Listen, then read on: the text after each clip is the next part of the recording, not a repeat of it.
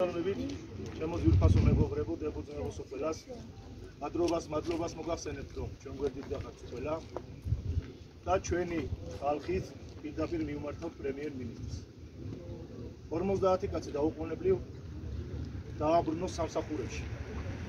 ამ ადამიანების განთავისუფლება სახელმწიფოსთვის არის კრაჭი და სახელმწიფოსთვის არის კისერზე დაწოლა.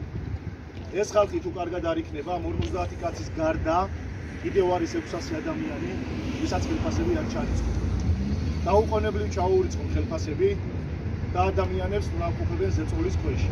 ეს ხელფასები არის ამათი ნამუშევარი, ამათი გავამუშავებული ჰონორარი, რომელიც ორი თვე არ მიუღიათ ამ ხალხს. მიუართავთ ხელისუფლებას, მიუართავთ თელ საქართველოს. დადგენ ჩვენი გორჯომელების წინაშე. დადგენ ხალხის წინაშე და გააკეთონ ის რაც საჭიროა. ეს ხალხი დააკმაყოფილონ ყველანაირად, რომ ყველაფერი იდეალურად გაიმართოს საქართველოში და ყველაფერი დამთავრდეს ისე როგორც სურს ხალხს და მთლიანად ერთს. მადლობა ყურადღებისთვის.